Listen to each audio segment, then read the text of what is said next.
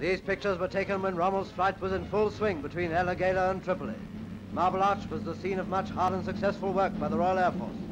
The RAF must also share that great victory won by the 8th Army.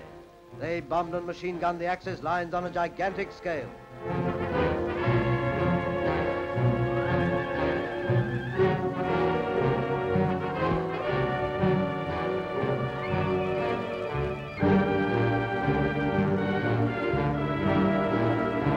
While the planes were doing